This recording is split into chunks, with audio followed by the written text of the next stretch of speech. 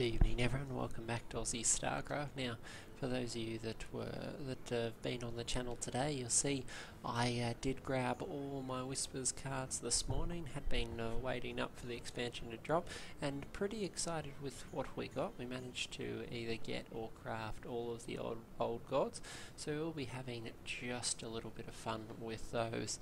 Now, uh, I've built a deck. It is a priest deck. Big surprise.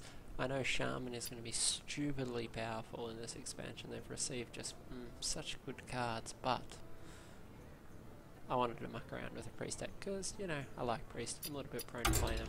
So we have a new priest deck. We're going to see how it goes. It is totally random. I, am not going to pretend for, for even a minute that it is a great deck, but let's see how we go. I do need to reinstall Deck Tracker as well. I formatted my computer recently and haven't quite got around to putting everything back but I am running a priest deck. I've called it Calling C'Thun because I thought it would be fun to try out C'Thun. We will try the others in due course, as well as just build a really nasty constructed shaman. But I'm just curious to see how some of these C'Thun effects work. Victory or death! The light shall Almost bring every card in the deck, guys, is a new card, bar a couple of old faithfuls like into. So it, it'll be interesting to see what we get. There are three drop minions and stuff in the deck. I just didn't seem to be seeing very many of them. Alright, well. There's our C'Thun. Well, let's just test this. Can see C'Thun 6-6. We drop the Beckoner of Evil. C'Thun becomes a So, okay. Of course, that was probably a waste of a coin, and we probably need slightly cheaper minions here. Yeah, that's that's no big surprise there, guys. But um, got the Twin Emperor as well, so we'll see how that goes. That would have been a better two drop to get last turn. Already. Uh, Oh, okay, so that gave our C'Thun Taunt. So that's that's not bad.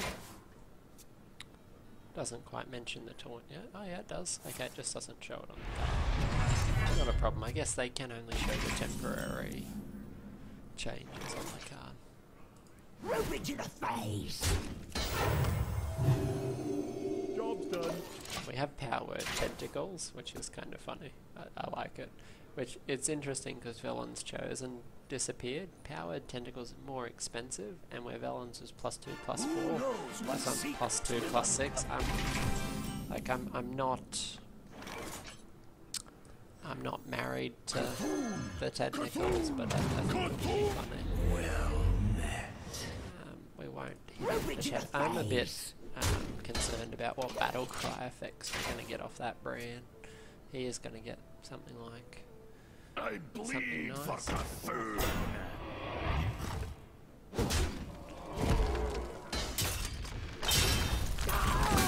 Whenever this minion takes damage, give you C'Thun. Okay, well. I feel like this is an appropriate response. C'Thun. So you can trade Ingress if he wants. It's interesting that it does show you, your opponent how strong your C'Thun is. I wonder if the Twin Emperor will trigger once. Uh, if that, if the Twin Emperor will trigger immediately. I think we will Holy Nova now. And I, I'm just curious whether Twin Emperor will trigger as he enters play with C'Thun in hand with 10, or whether we will have to do something differently, whether C'Thun will have to physically be in play. But this is why we call it testing. Feast of souls begins now. That's cool. So we have two, four, six minions for seven. That's that's uh, Nothing wrong with that. I have no time for games. Oh, Sylvan, let's go play somewhere else.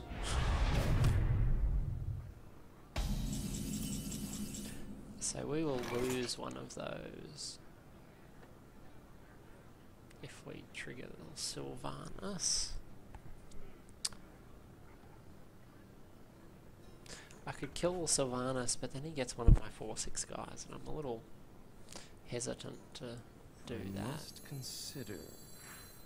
I can summon 1-1 prophets, but I, I think it'll be more interesting to get the Confessor effect later on.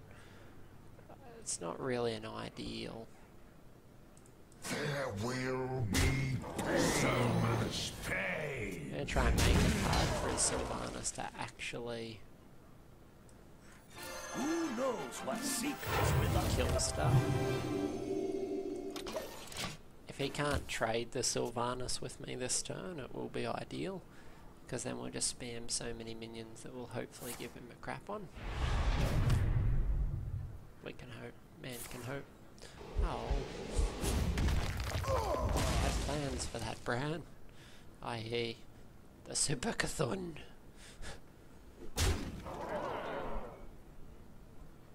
Back to work.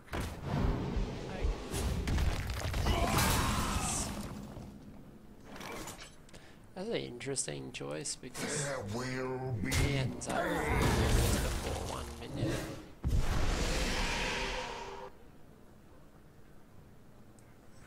the sleeper. I'm curious to drop a curious to drop a forbidden shaping. That's one of the new cards. Spend all your mana, summon a random minion that costs that much.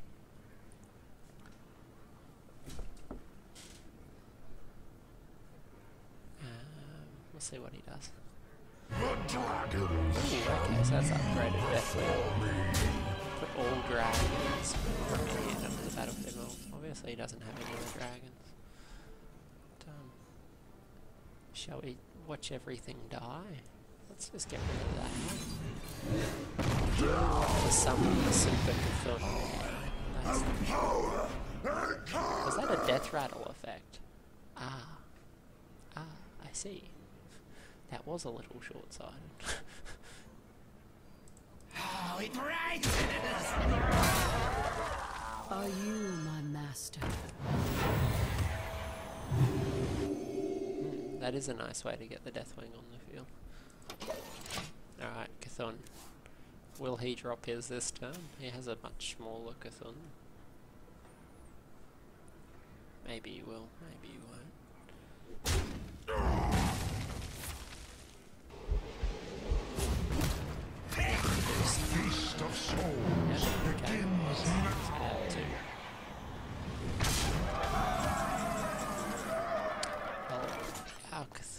Is going to have to taunt his way through life.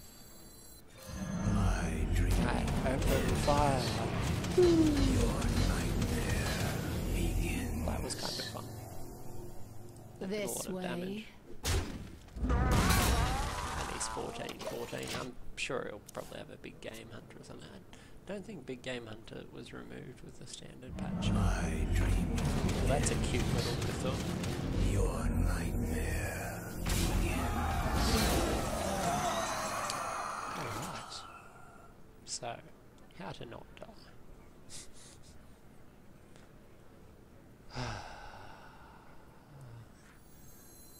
That's pretty much relying on a legendary. We Take this just die time to consider your. Unless we get some legendary taunt or a Mal'Ganis. I think we're dead.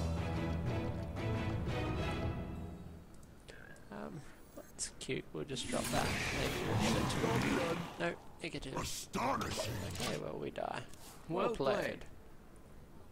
But that was quite I funny. dream and Next time we'll be a little bit more careful before we get to the death But all in all, it was fun to see C'Thun's effect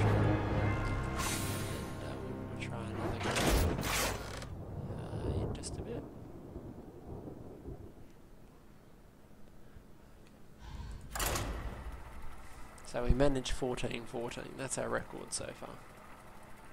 We still have a couple of cards that we could pull out of the deck that aren't essential things like the Paltress and a few other bits and pieces that aren't really essential to the theme. We'll, we'll see how they Victory or wobble The off and what sort of damage victory. they do. I'm curious about the Herald. I haven't um, haven't haven't really tried the Herald. The uh, Twin Emperor, that was a pretty solid 7 drop when we played it. Obviously there's a problem with the cost of minions in the deck. They're just too expensive. Because we've had a consistently expensive opening hand. So I have to sub a couple of these out. Things like the Doom Caller to get your, s- C'Thun just be delicious. Um, I think we'll coin in the You hear its call? Listen. Your deck betrays you. because we have one, two takes him the C'Thun to eight, and then the disciple gets it to ten, which means when we get to seven mana, we have the twin emperor ready to play.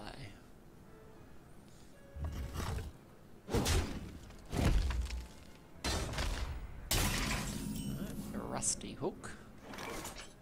Um,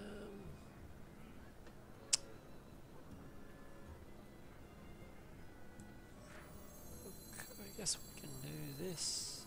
C'Thun! C'Thun! C'Thun! Not necessarily It'll do.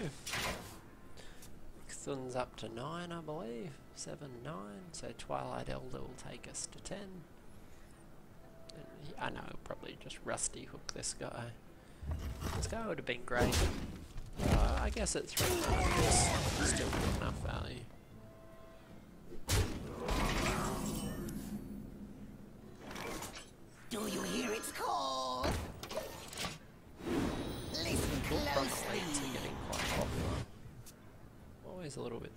Surprised. They're alright, they're 4 3 for 4. I mean, they're good value. But uh, you never used to see them in a warrior deck. Things are shifting. I guess they, they took away uh, the patron warrior a few months ago, and most warrior decks that aren't just straight control warriors still trying to find their feet.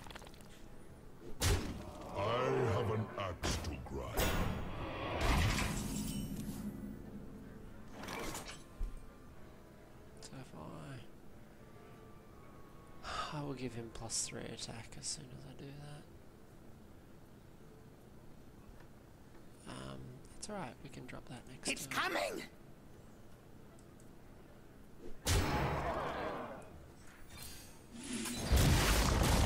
Done. Chances are he'll hit for my hero, if he does, we just drop the Dark Mender. That is it. That's the Dark Mender's going to be surprisingly good, I think. I don't. I don't think I quite uh, gave it gave it the credit it was due when we built the deck. I believe I only put one in. The fact that the C'Thun doesn't have to be in play makes it a much better card.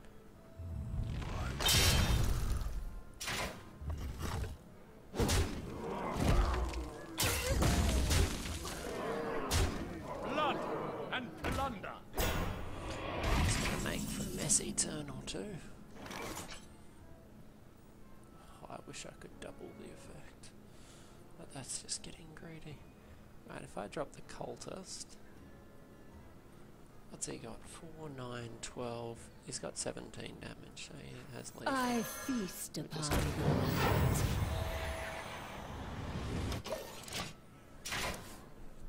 Just got to do it. It's pretty brutal. Surprising that, I mean, we've played two games so far and they've both been warrior games, so we, we know that the fast druid was nerfed with last week's nerfs. Things like the treants losing charge just, just killed the deck, or killed a lot of its viability. But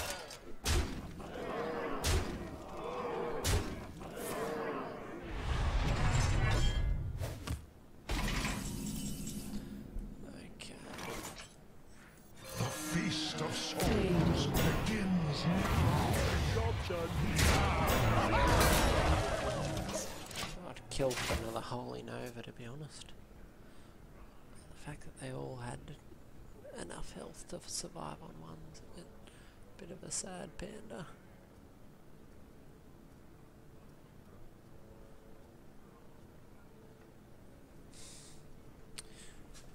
Oh, but we'll draw into the C'Thun quite quickly if we can survive.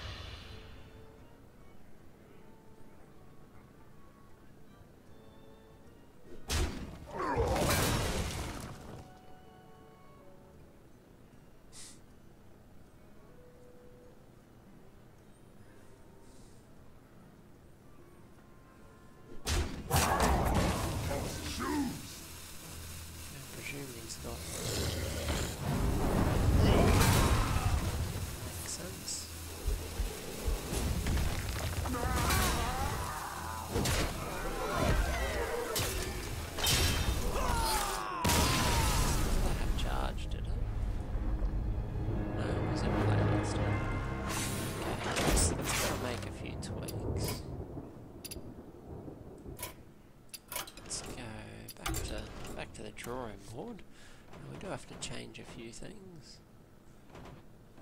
Calling. Alright. So what's working for us?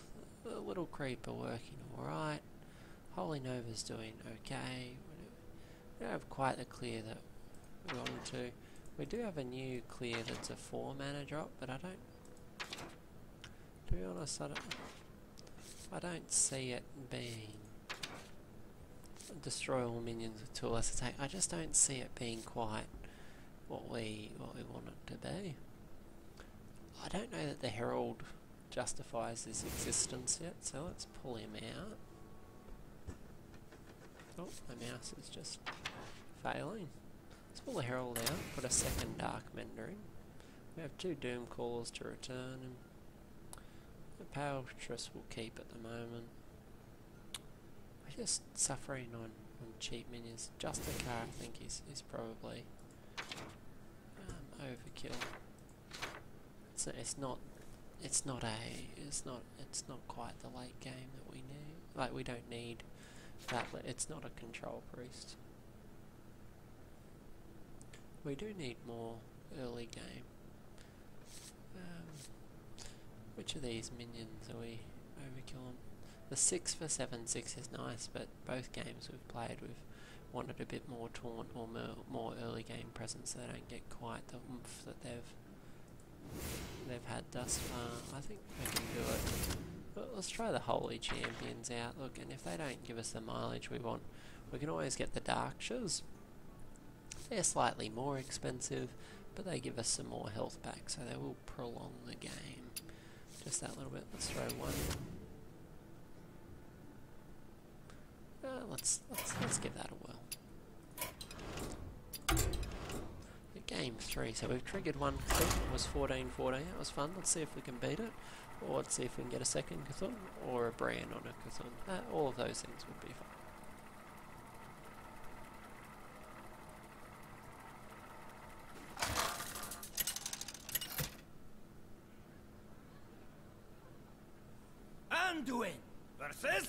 So we're going to be against a hunter. If it's a new hunter, it's going to be a beast-based hunter. We'll see. We'll see what shenanigans he has in mind. Mulligan two. S- I'd say the deck needs more two drops and things, but Job done. it doesn't have that fewer one and two drops. It is a slower deck. fight, maggot.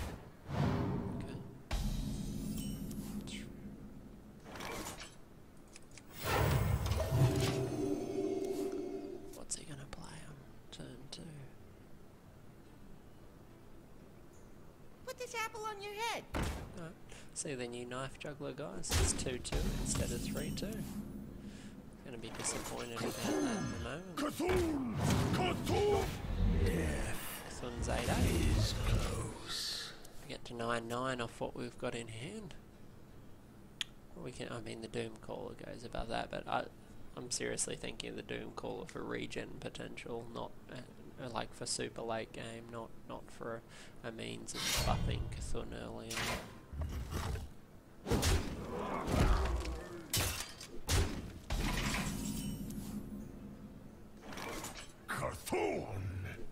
How many things champion in. Job's done.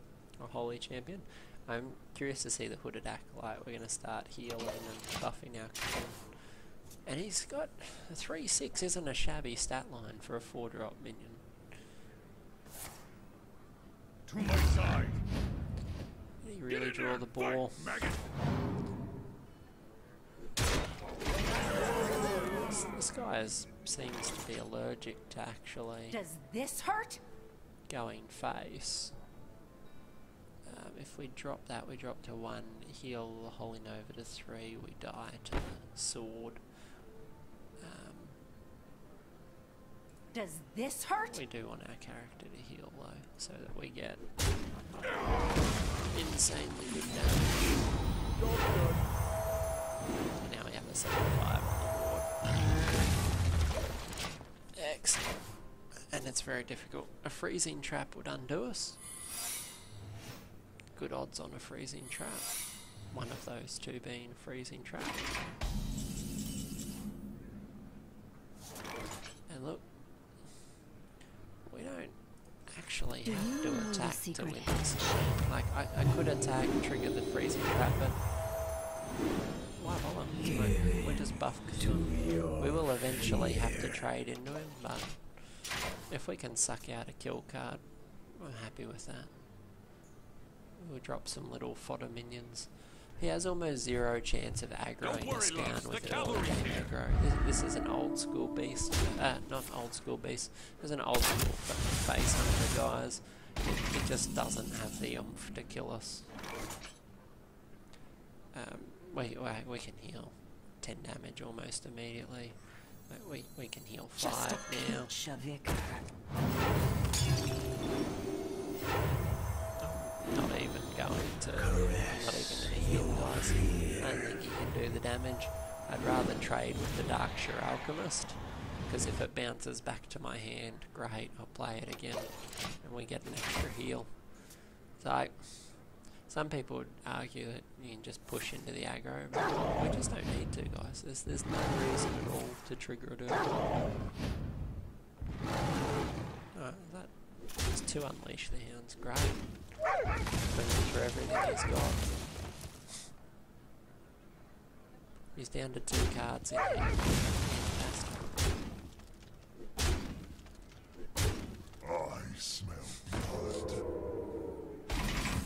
Be. Let's A trade new this in. recipe. Oh no, back to our hand. Oh, what a what a what a what a disappointment. Outsider!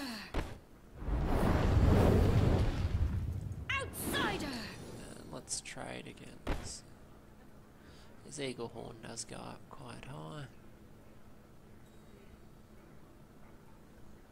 Drop this. I feast upon Disappointed.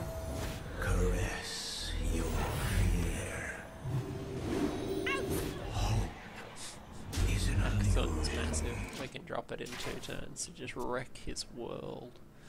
But I'm having a bit of fun with this. I don't. He's dropped both his Unleash the Hounds and one of his abusive commands. I don't actually think there's any way for him to win this game. Just putting it out there. I think just the raw heal that we have is too substantial.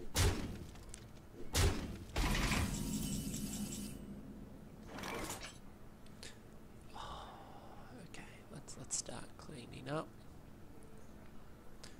Outsider! This and Fade. Just a pinch of vigor.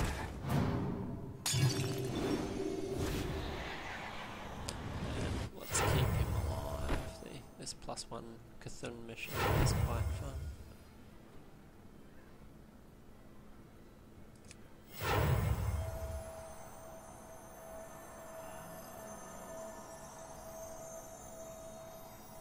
Oh, let's be safe. Probably edged on the side of my minion. Hooded Acolyte would have been fine. We'll have to drop the C'Thun next. Like, we could stall for the brand, but if he doesn't already know he's dead, he might just concede and then all the fun would be spoiled.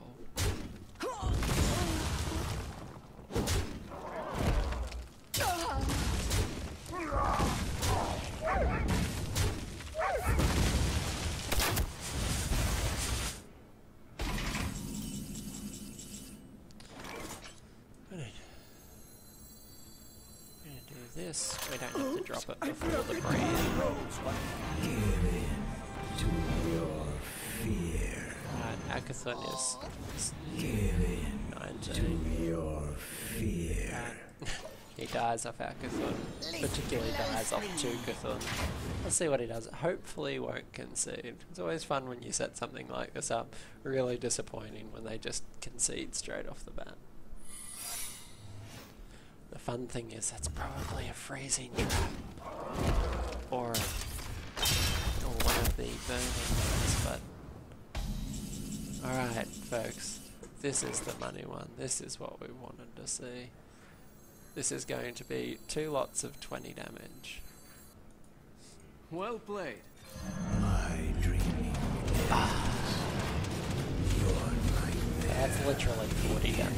That's awesome. so yay, we won one. So lost two, won one. Like I said, not to say the deck's awesome. Wa- There's lots of playtesting to be done yet, but that was pretty cool. Alright guys, gonna, gonna pause it there for uh, playing with C'Thun. We, we will come back to him and we will have some other shenanigans in the coming days. So um, I hope you guys enjoyed it. A little bit of taste of C'Thun. We will be trying the other old gods and we will be trying the um, really good shaman. Uh, so oh, out of the new cards, what did we get to see? I think in the pre-stack we saw just about everything we put in. I did have a forbidden shaping in hand. I did want to try that with 9 or 10 mana because as you get to those higher amounts you can pretty much pick and choose what, what you're going to craft with it. There's a lot less 10 drops so I guess there's a few new ones in this expansion. But we saw just about everything else. The Twin Emperor, really nice in the deck. Confessors is always a good card late game, but arguably it's getting a little bit watered down with the amount of new legendaries, and it just is less essential than it once was. So, very cool though. I, I did have a bit of fun with the deck, and we'll mix and match a little bit and play some more later. Hope you guys enjoyed the cast, guys. This is Aussie StarCraft here. Um, if you did enjoy the cast, leave us a comment down below, or like or subscribe to the channel. And I will catch you in the next cast. Thanks, guys.